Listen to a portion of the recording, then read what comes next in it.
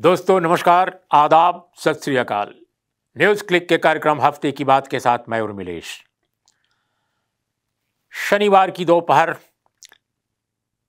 चार राज्यों में एक लोकसभा और जो विधानसभा की सीटें हैं, आप ये चार राज्यों में बालीगंज है, बंगाल में खैरागढ़ है, छत्तीसगढ़ में बोचहा है, बिहार में कोल्हापुर, नॉर्थ है, महाराष्ट्र में। जितने भी नतीजे इस वक्त आ रहे हैं, सब में भारतीय जनता पार्टी, देश की सबसे दबंग पार्टी, देश की सबसे बड़ी पार्टी केंद्र में और कई राज्यों में सत्तारूढ़ पार्टी चुनाव बुरी तरह हार रही है। वो आसनसोल की लोकसभा सीट हार रही है। वो कोल्हापुर, बिहार में जो बोचहा सीट है, जहाँ से एनडीए का अपना विधायक था पहले, वह सीट भी आ रही है। आरजेडी वहाँ 24 राउंड के बाद चौंतीस हज़ार सी वोटों से आगे बताई जा रही है। इसी तरह से बालीगंज में सुप्रियो, जो बाबुल सुप्रियो हैं, जो पहले भारतीय जनता पार्टी के साथ थे, अभी वो टीएमसी के साथ हैं, वो भी चुनाव जीत रहे हैं। छत्तीसगढ़ में खैरागढ़ खैरागढ़ की सीट भी बहुत महत्वपूर्ण थी, खासकर वहाँ की सत्ताधारी कांग्रेस पार्टी के लिए, क्योंकि वो सीट कांग्रेस की नहीं थी, वो अजीत जोगी की पार्टी की सीट थी, और वहाँ भी भारतीय जनता पार्टी और कांग्रेस के बीच मुकाबला था। वो भी सीट बीजेपी हार रही है।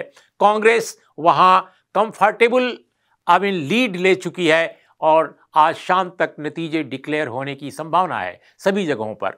तो दोस्तों, इस तरह से जो बाई इलेक्शन का जो नतीजा है, जो उपचुनाव का नतीजा है राज्यों में, वो भारतीय जनता पार्टी के विरुद्ध जा रहा है। लेकिन इस नतीजे से मुझे नहीं लगता कि बहुत मुगालते में रहने की ज़रूरत है।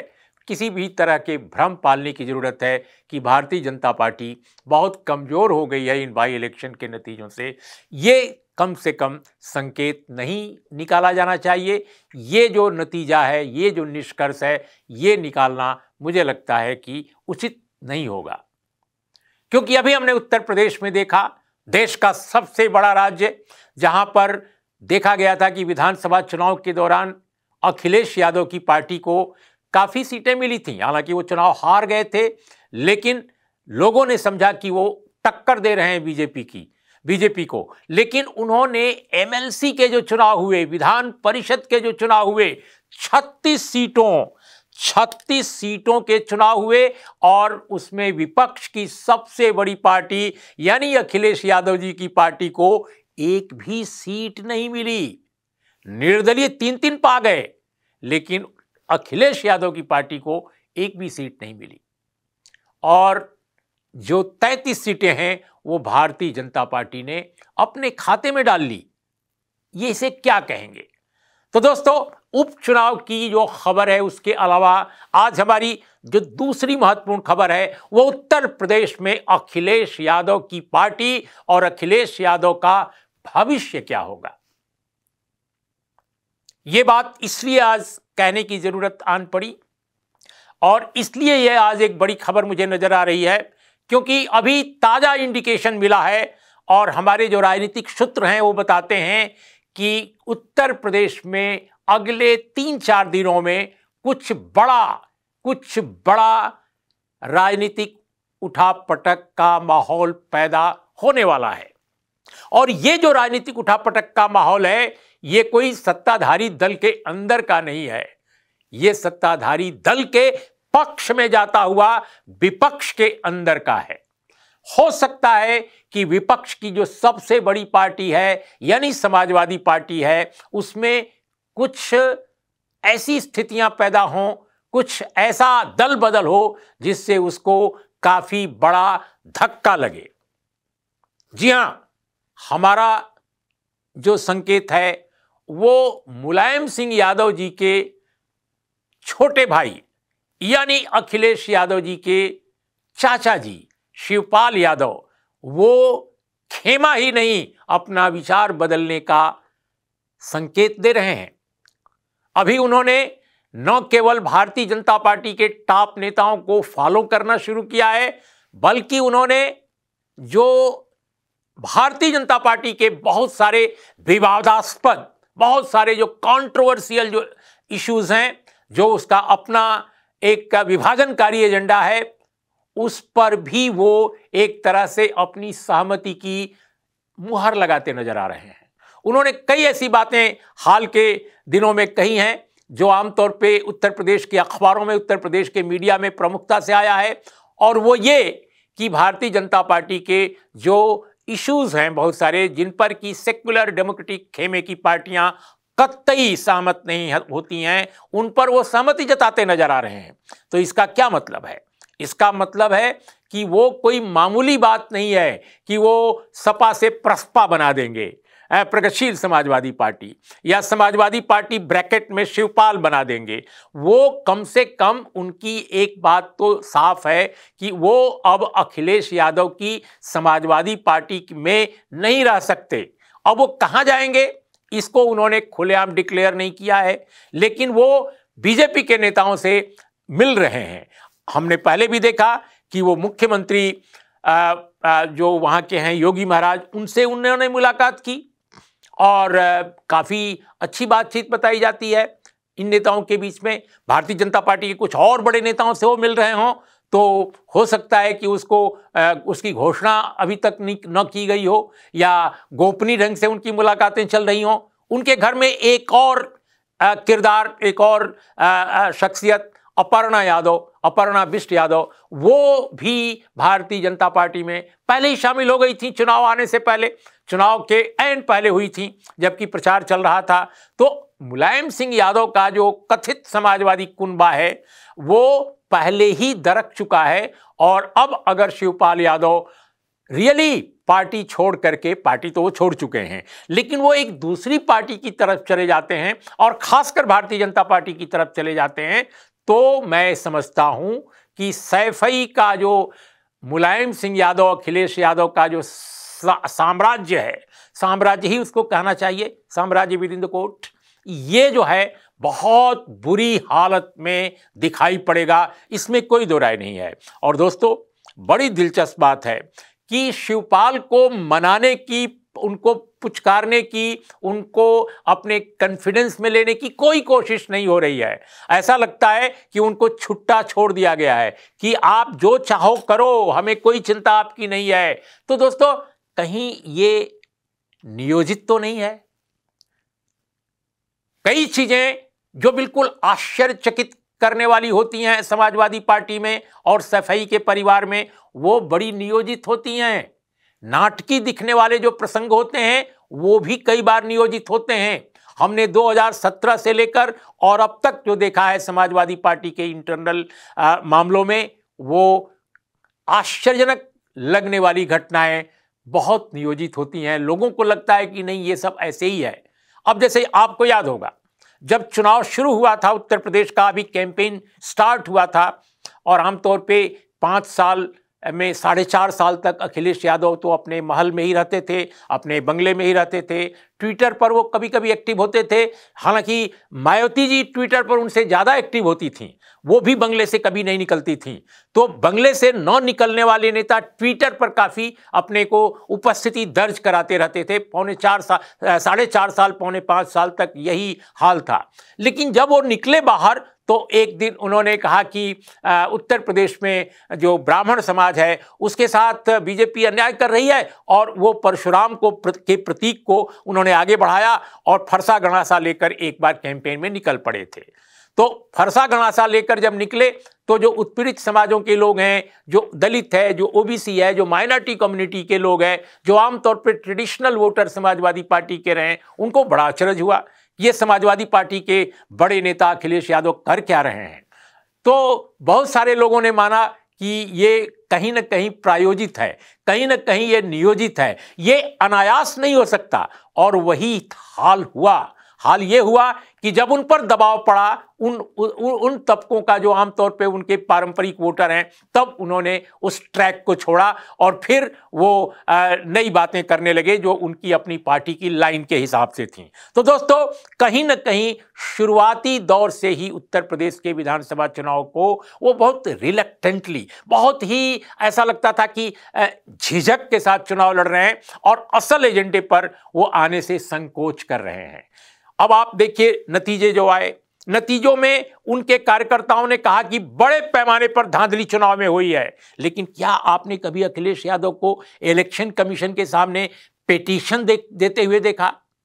कभी आपने उनकी पार्टी का कोई डेलीगेशन देखा जिसमें उन्होंने कोर्ट कचहरी या इलेक्शन कमीशन में कभी कोई अर्जी लगाई हो कि इलेक्शंस में कोई गड़बड़ी की गई है धांधली की गई है हेरा फेरी की गई है? कार्यकर्ता कहते रहे, विधानसभा क्षेत्रों में, जिलों में, हर जगह, मंडलों में। लेकिन क्या मजाल की उत्तर प्रदेश की समाजवादी पार्टी के टॉप लीडर अखिलेश यादव या उनकी जो सो कार्ड जो एक न्यूक्लियस है, एक उनके उनके इर्द गिर्द के जो कुछ पाँच छः लोग हैं, कभी उन्होंने कोई डेलीगेशन कोई ज्ञापन इलेक्शन कमीशन को उन्होंने इस आशय का दिया हो। तो मुझे लगता है कि ये कहना बिल्कुल गैर वाजिब नहीं होगा। कि उत्तर प्रदेश में आवाम जो थी, जो आम लोग जो थे, जो समाजवादी पार्टी या बीएसपी के केवल नहीं थे, आम लोग, वो तो सचमुच बीजेपी से लड़ना चाहते थे। एक तरह से उनकी कोशिश थी कि बीजेपी के राज से उनको मुक्ति मिले, लेकिन समाजवादी पार्टी के नेता अखिलेश यादव शायद शायद चुनाव जीतने के लिए नहीं लड़ रहे थे। और अगर मैं उसको अपने ढंग से कहूँ तो वो चुनाव हारने के लिए ही लड़ रहे थे। किस बात के लिए? क्या परेशानी थी? अब वो चीज़ें सामने आ रही हैं। ये डर डर कर जो वो राजनीतिक कदम उठा रहे हैं, डर डर कर जो वो बयान तक देते हैं, ये अचरज की बात नहीं है, ये स्वाभाविक दिखाई देता है। अयोध्या में सात साल की बच्ची के साथ रेप हो जाए बरेली में कोई बड़ा कांड हो जाए, गाजीपुर में कोई बड़ा कांड हो जाए, अखिलेश यादव कहीं नहीं जाते। किसी को मुद्दा नहीं बनाते। उनके जो पॉलिटिकल एलाई जयंत चौधरी हैं, वो चंद्रशेखर रावण के साथ बैठ करके आगे की स्ट्रेटजी तो तय कर रहे हैं, लेकिन अखिलेश यादव जयंत चौधरी को पूछ ही नहीं रहे हैं। पल्लवी पटेल जैसा एक महत्वपूर्ण नेता पल्लवी पटेल, अनुप्रिया पटेल की बहन है और उनसे ज़्यादा बेहतर ढंग से बोलती हैं। बहुत ज़बरदस्त ओरेटर हैं, समझदारी कमाल की है।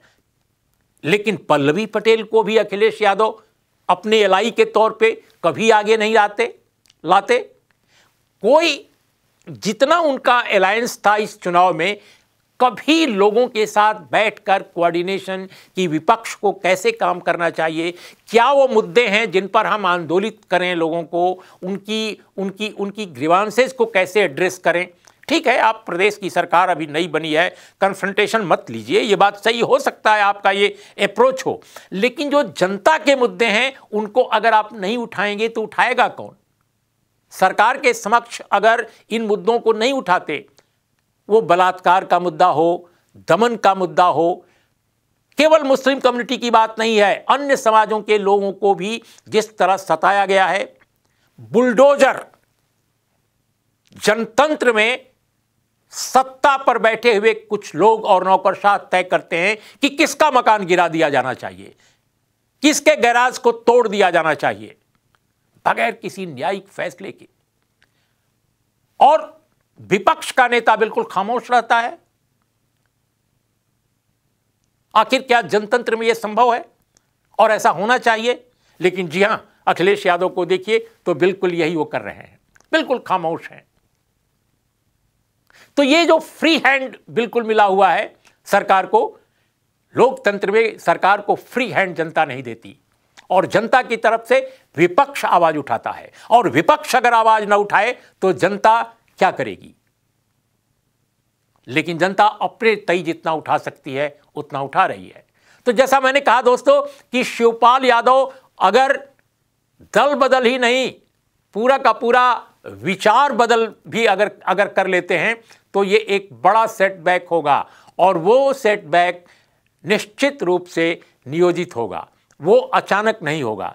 अभी चर्चा ये भी है कि माइनॉरिटी कम्युनिटी पर जो दमन है उसे लेकर अखिलेश यादव की चुप्पी से इतने नाराज़ हैं आज़म खान समाजवादी पार्टी के ट्रेडिशनल नेता, पुराने नेता, कि वह भी समाजवादी पार्टी छोड़ने का विचार अगर कर लें तो कोई आश्चर्य नहीं। मैं नहीं जानता कि वो कहाँ जाएँगी, कहाँ जाएँगे। निश्चित रूप से वो शिवपाल यादव की तरह भाजपा में जाने की बात सोच नहीं सकते, ये मैं मानता हूँ। लेकिन वो जेल से निकलना चाहते हैं। उनको मालूम है कि इस वक्त भारत में जो निज़ाम है, जिस तरह की स्थितियाँ हैं, उसमें बहुत मुश्किल है, बहुत मुश्किल है दमन से मुक्ति पाना। और ऐसे में अगर वो कोई फैसला करते हैं टैक्टिकल कोई फैसला करते हैं तो कोई मुझे आश्चर्य नहीं होगा।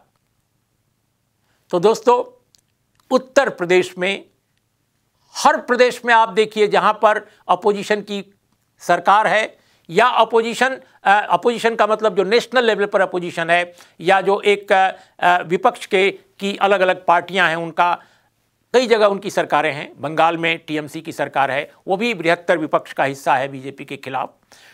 टीएमसी के अलावा एनसीपी की सरकार है, शिवसेना की सरकार है, महाराष्ट्र में कांग्रेस के साथ उनका गठबंधन है। इसी तरह से कांग्रेस की सरकार छत्तीसगढ़ में है।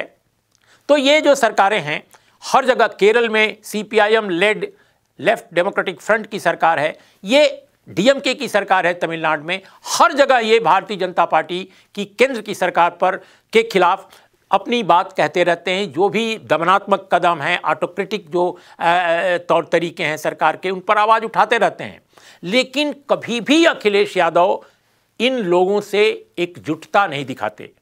तो क्या ये माना जाए कि अखिलेश यादव ने राजनीति को एक बिल्कुल औपचारिक, औपचारिकता बना लिया है। उनके लिए विपक्ष की राजनीति महज एक दिखावा है और वो सचमुच भारतीय जनता पार्टी की सरकार से, केंद्र से, केंद्रीय एजेंसियों से, वो और उनके खानदान के लोग इतने भयभीत हैं कि वो राजनीति में विपक्ष की जो भूमिका है, उसकी औपचारिकता निभाने से भी डर रहे हैं। एक बड़ा सवाल दोस्तों है और ये सवाल ही भारत की राजनीति को आज मथ रहा है। क्या उत्तर प्रदेश विपक्ष विहीन हो गया है? क्योंकि विधानसभा चुनाव के पहले ही बहुजन समाज पार्टी को इसी डर ने बर्बाद कर दिया, खत्म कर दिया। एजेंसियों के डर ने, केंद्रीय एजेंसियों के डर ने। और अब समाजवादी पार्टी उसी डर का शिकार है। तो जो बहुजन समाज पार्टी विधानसभा चुनाव से पहले ही समाप्त प्राय दिखी थी, बिल्कुल खत्म दिखी थी। और नतीजे जब आए तो वाकई वही नतीजा आया। अब समाजवादी पार्टी, क्या माना जाए कि 2024 के चुनाव से पहले उसका भी बंटाधार हो जाएगा? तो ये जो पहलू उत्तर प्रदेश की राजनीति का है, मैं समझता हूँ कि देश की राजनीति को प्रभावित करने वाला है और भारतीय जनता पार्टी के लिए बहुत आश्वस्तकारी है, बहुत ही ज़्यादा उसके लिए फ़ायदे का है। तो दोस्तों, आज बस इन्हीं दो खबरों के साथ पहला बाई इलेक्शन का जो हाल है, आपने देखा और आप अभी और उसके नतीजे आपके सामने आएँगे। और दूसरा उत्तर प्रदेश में विपक्ष विहीन जो जो सियासत है, उससे भारतीय जनता पार्टी को अल्टीमेटली क्या फ़ायदा मिल रहा है? ये मुझे लगा कि सप्ताह की दो महत्वपूर्ण खबरों पर ज़रूर चर्चा करनी चाहिए। नमस्कार, आदाब, सत श्री अकाल।